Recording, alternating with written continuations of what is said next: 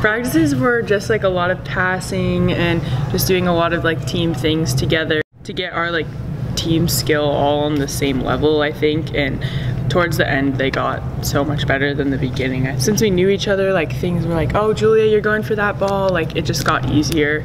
So just a lot of like working on passing, working on serving, hitting, just like every, all the little details.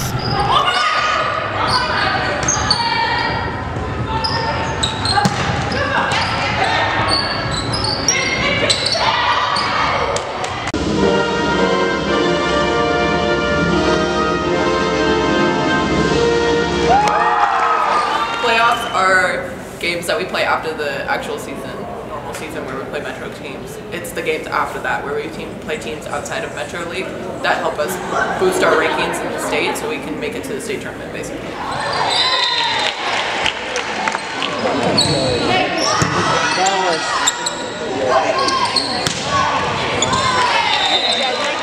Everyone's gonna get harder.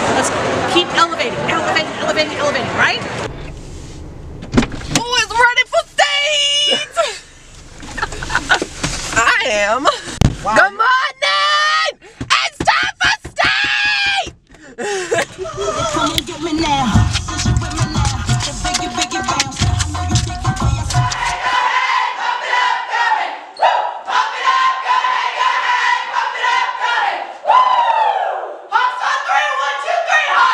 The state tournament is always at Liberty High School.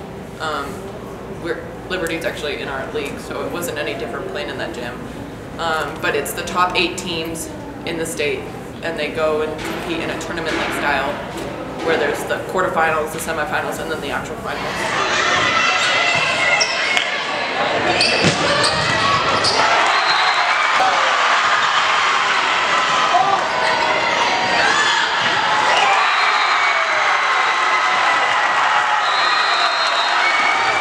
Sonia Curry is going to speak to us. Thank you, by the way. Thank Hi. you. Thank you. Good. Just a crowd this evening for energy and not, you know, to be nervous and anxious about anything, but to let them be your strength and your energy.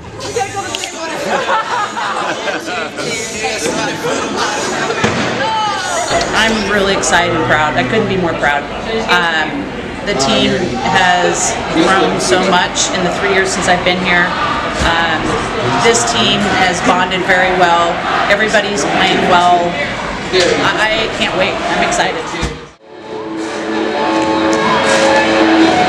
The state finals was different than any other game I've played.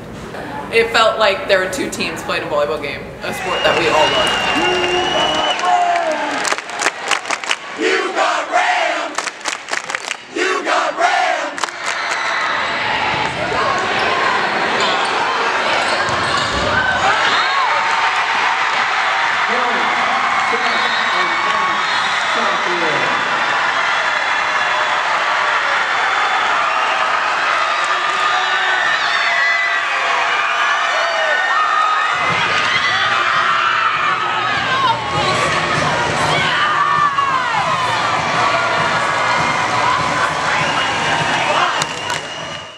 And now, the first place trophy and championship bracket will be presented to our 2017 6A Volleyball State Champion.